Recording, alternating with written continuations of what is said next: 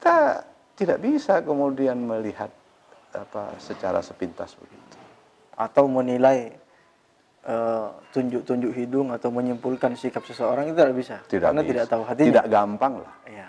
Setidaknya tidak sus, tidak tidak tidak mudah. Kecuali memang berdasarkan apa namanya istilahnya kalau di dalam bahasa kitab itu korinah-korinah tertentu.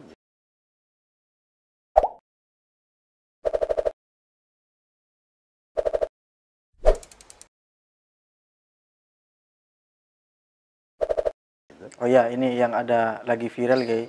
Ada beberapa santri itu sedang antri untuk divaksin. Kemudian ada lagu-lagu dan dia menutup telinga karena dia sedang menghafal Quran. Nah itu tawakalnya di mana? Saya rasa pertama apa masalahnya dengan menutup telinga? Kan mendengarkan sesuatu yang Iya tidak Islam. misalnya anti misalnya, misalnya anti dengan musik. Emang masalah buat lo? Gitu. Jadi anti musik juga ada masalah. Tidak ada masalah. Orang suka musik, ya tidak ada masalah. Berarti yang, penting- masalah itu yang mempermasalahkan sebenarnya. Saya tidak ngomong begitu, tetapi saya hanya bilang bahwa saya bilang bahwa kenali persoalannya dengan cermat. Orang ngapalkan Quran itu butuh kecermatan. Ah iya itu. Hmm. Apa itu Butuh bagian ketelitian. bagian dari konsentrasi maksudnya? Artinya kita tidak Bisa menyalahkan juga. juga. Bisa juga. Saya berbulan-bulan membaca falatakum minal mumtari itu kan tidak cermat. Karena kurang teliti. Iya iya iya. Al-haqqu min rabbika falatakum minal mumtarin. Berbulan-bulan saya baca itu gitu. Misalnya apa apa namanya? Ada beberapa ayat lain. Iya, mirip sama. Ya. Saya membaca apa namanya? Fa'wari sawata akhi. Fa'wari ya sawata. Tanpa ada ianya aja. Iyanya itu ada harkatnya. Iya. Fa'wari ya sawata akhi. Saya baca fa'wari berbulan-bulan.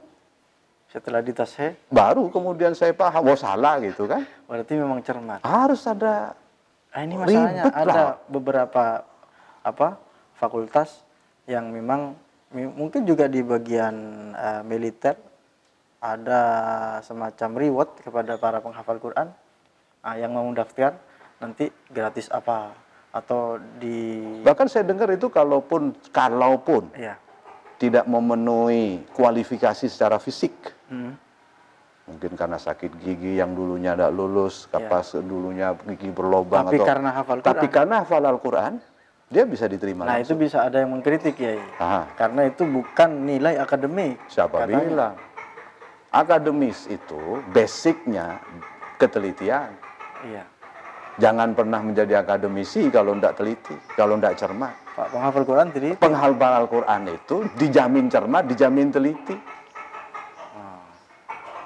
Wah itu kalau ada akademisi tidak cermat, tidak teliti, wah itu pasti diragukan. Iya, saya pernah dengar sih di beberapa fakultas itu memberikan eh, beasiswa.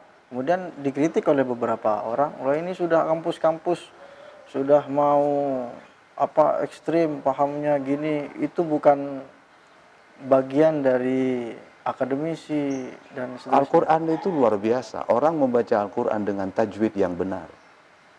Idhar, ikhfa, iklab, dan seterusnya. Itu ketelitian. Itu bukan cuma soal ketelitian. Itu membangun karakter. Tajwid itu, kenapa dibuat seperti itu? Salah satunya, itu dampaknya, terbangunnya karakter. Kesantunan, keramahan, ketegasan, kesungguhan. Itulah kekuatan bahasa. Kekuatan bahasa, kekuatannya di situ. Dan Al-Quran luar biasa. Kombinasi huruf per hurufnya, kombinasi kalimat per kalimatnya, kombinasi kata per katanya, itu punya punya dampak yang Makanya luar kata. Ustadz Ali Noman amazing. amazed by the Oh, Quran, amazed. amazed, Amazed by the apa itu artinya amazed? terkagum-kagum. Oh, terkagum-kagum.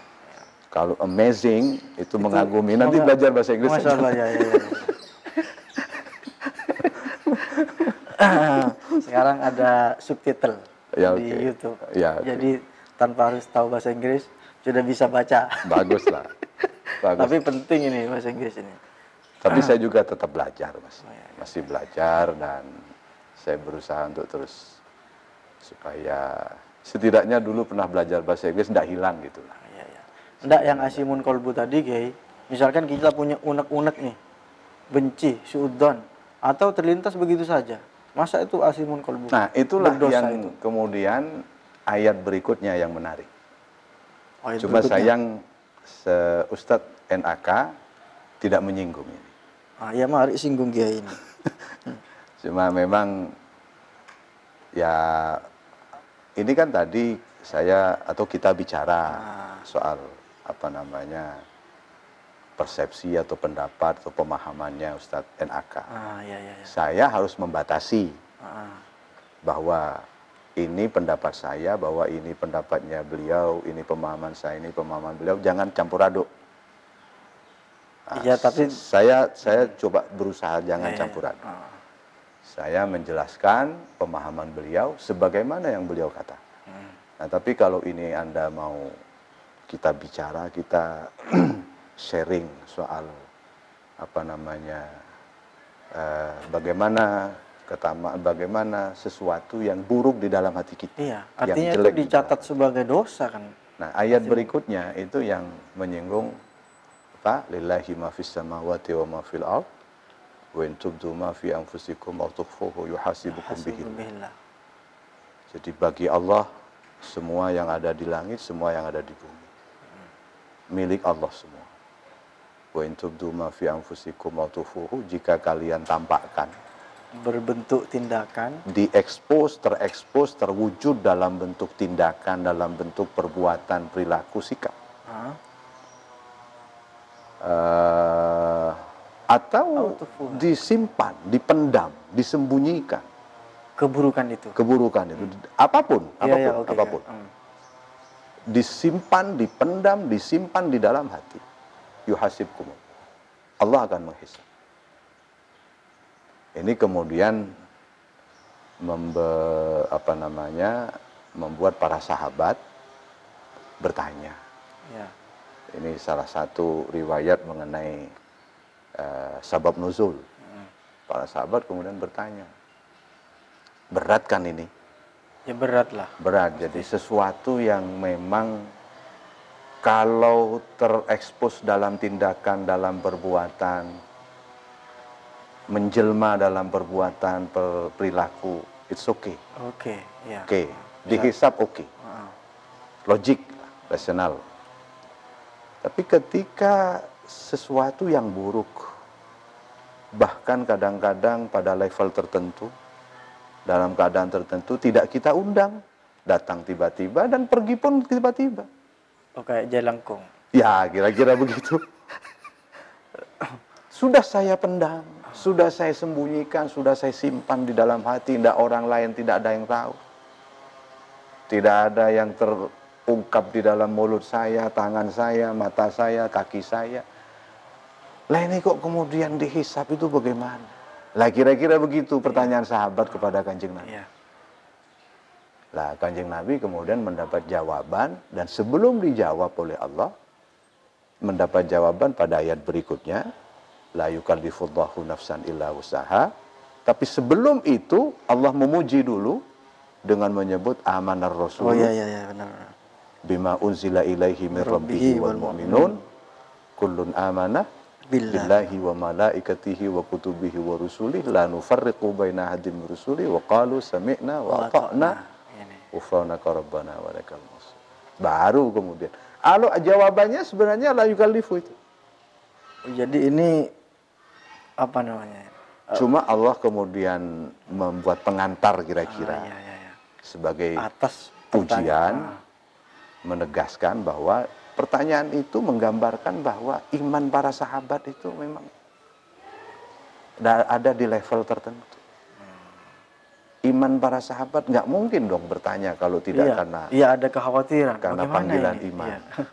Kalau sesuatu yang saya sembunyikan, saya pendam, saya simpan. Taruh kata misalnya saya suka maksiat. Saya suka maksiat. Sesuatu yang benar-benar dilarang Allah. Lu suka saya itu saya simpan. Enggak saya misalnya melakukan, enggak saya misalnya berjalan untuk Iya. enggak saya merencanakan supaya Iya, iya, bisa terwujud itu. Ditahan, saya simpan, ditahan saya tahan, saya pendam. Dengan segala kekuatan yang saya punya, dengan segala komitmen yang saya punya. Loh itu kok masih dihisap juga dan artinya masih akan disiksa juga. Itu kalau tidak benar-benar beriman, tidak mungkin muncul pertanyaan begitu. Maka kemudian dipuji Puji. oleh Allah, amanah rasulu dan seterusnya, jawabannya la yukallifullahu nafsan illa wus'aha. Bahwa kalau itu memang sesuatu yang tidak dalam kapasitas kita, di luar kemampuan kita, di luar kemampuan bagaimana Anda bisa menyaring, membatasi objek agar supaya tidak terdengar. Oh, ini berarti konteksnya ke sana ya, ke hati. Karena ini biasanya ayat dipakai Allah tidak mungkin memberikan masalah kepada kita. Ada lagi, Oh iya, la yukallifullahu nafsan ada lagi bisa begitu, tapi itu konteksnya seperti itu. Apa namanya eh, konteks atau backgroundnya seperti itu. Tapi bahwa ayat itu kemudian menurut para ulama bisa dipahami sesuai dengan keumuman lafadznya, Ah, tidak berdasarkan kekhususan ya, sebabnya. padahal begini ini Nah, maksudnya. itu mm, diskusinya panjang. Apa namanya? La bi khusus sabab. Al ibratu bi umumil lafzi la bi khususis sabab. Yang dipegangi itu adalah lafadznya yang umum bukan karena sebabnya yang khusus, sebab turunnya karena begini begitu. Tetapi jangan lupa ada beberapa yang al ibratu bi khususis sabab la bi umumil lafzi. Seperti contoh. Ya, seperti misalnya la junaha. Seperti ayat sa'i. Inna safa wal marwata min sa'ir min sya'irillah. Wa man hajjal baita wa itamara fala junaha alaihi ayat tawafa bihim. Ah, Itu kalau artinya fala junaha tidak apa-apa. iya.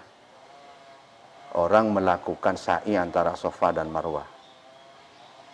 Tidak apa-apa, berarti boleh dilakukan, boleh, juga tidak. Iya. Tidak dilakukan. Iya. Nah, tapi itu lafadznya lajunaha itu karena ada konteksnya, ada sebabnya, sebab turunnya ayat itu. Tidak bisa dipisahkan. Kalau umum lafadz ini bisa berarti bahwa apa namanya sa- sa'i atau sofa marwah itu tidak merupakan rukun Iya. dari haji atau umroh, dari umroh atau haji. Nyatanya itu bagian dari Ternyata itu adalah rukun. Kenapa ada kalimat Karena di situ ada sebab yang mendahului orang dulunya dari sofa ke marwah, marwah sofa itu menuju berhala ke berhala berikutnya. Jadi di sofa itu ada sekian banyak berhala, di marwah itu ada sekian banyak berhala. Mondar mandir berhala, apa namanya sofa marwah itu dalam rangka untuk memuja berhala itu itu hajinya orang memuja berhala itu. Maka kemudian ketika itu menjadi rukun di dalam haji dan di dalam umrah, sahabat bertanya, loh ini bagaimana di situ berhala-berhala begini kita masa mau menjalani apa namanya sa'i di sana berhala di situ berhala. Nah, teruslah kemudian ada fala junaha alaihi ayyat tawwafa bihi. Tidak masalah sudah. Tidak masalah, artinya itu wajib. Jangan kemudian itu dilihat umum lafadznya, itu harus dilihat dari Itu bagian contoh kebalikan dari Iya, ini tadi. Iya. Oke, oke. Karena berarti yang tersimpan di dalam hati tidak semuanya itu dihisap karena ada Tidak semua. Kalau La kita misalnya me- mengupayakan, mengusahakan dengan segenap kekuatan kita yang jelek-jelek itu tidak kita wujudkan di dalam perbuatan, tidak kita realisasikan di dalam tindakan nyata, itu dipendam dia, itu bahkan berdapat pahala dua kali. Pahalanya dia menyimpan, pahalanya mengu- menguras tenaga, energi supaya bisa. Itu yang disebut berjuang.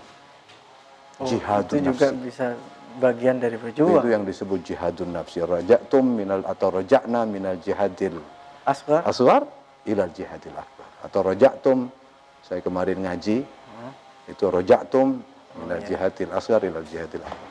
Kalian pulang dari jihad yang kecil menuju jihad yang besar. Padahal Ap- besar itu. Apa itu? Padahal Badar itu luar biasa. Itu kan konteksnya Badar. Iya.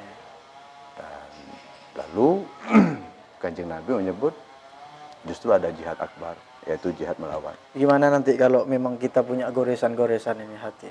Yaitu Suudon atau ingin berperilaku kriminal. itulah yang disebut dipendam dalam hati.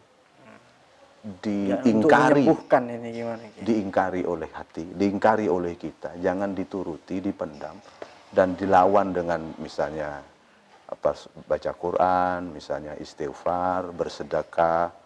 Saya ada niat jelek nih. Ada hati yang saya jelek, buruk. Saya bersedekah walaupun seribu, dua ribu rupiah. Diniatkan Saya niati untuk menyembuhkan hati saya. Atau saya bersolawat. Di mana pun dan kapan pun supaya hati saya bersih. Supaya hati saya tidak menyimpan yang begitu-begitu. Kita lihat saja nanti satu dua jam, satu dua hari berikutnya. Saya yakin itu hilang. Insya Allah. Saya yakin itu hilang. Karena kayaknya ini kayak dendam-dendam ini masih Ya itu harus diniati tapi. mengkristal ini. Harus diniati. Di Kalau tidak diniati tidak bisa. Kalau tidak diniatkan tidak bisa. Saya punya dendam. Kalau saya tidak benar-benar berniat untuk menghilangkan dendam saya. Oh iya. ah, ah. Saya berniat, saya sedekah, tidak perlu nilainya. Nilainya mungkin banyak, mungkin sedikit, relatif. Ya tapi kalau memang mampu banyak jangan Ya, sedikit. nominal, ya. Ya, kalau mampunya misalnya 100 ribu, kok sedekah cuma 100 rupiah itu kan tidak fair. Malu lah. Iya. Jadi malaikat melihat itu ini bagaimana Mau sembuh kok. mau sembuh dari penyakit penyakitnya sangat-sangat berbahaya. Ya tentu harus fair lah. Ya tapi nominal itu tidak penting. Yang penting bahwa ada niat untuk menyembuhkan. Nah, berarti apa namanya eh, masih ada beberapa yang di dalam jiwa kita ini. Karena ada saya pernah dengar keterangan bahwa yang punya tekad atau punya niat buruk atau awalnya punya niat baik kemudian mengerjakan dapat berapa pahala. Ya, kemudian berniat baik tapi tidak mengerjakan dapat berapa pahala. Ya. berniat buruk tapi tidak dikerjakan itu justru juga kebaikan. Kebaikan. Karena potensinya, potensinya itu apa? eh, potensi atau dampak jeleknya itu sudah tidak ada. oh iya potensi atau dampak jeleknya sudah tidak ada karena niatnya yang tertanam di dalam hati itu dia simpan, dia sembunyikan, dia pendam, tidak terungkap di dalam perbuatan dan kata. Saya kira cukup, Kiai. Ya. Terima kasih banyak. Terima kasih. Mudah-mudahan kita lanjut di pada episode-episode berikutnya dengan eh, kajian-kajian yang akan kita perbincangkan lagi dengan Kiai. Terima kasih. Apabila ada beberapa eh, kesalahan, mohon maaf dan terima kasih atas segala perhatiannya. Assalamualaikum warahmatullahi wabarakatuh. Assalamualaikum warahmatullahi wabarakatuh.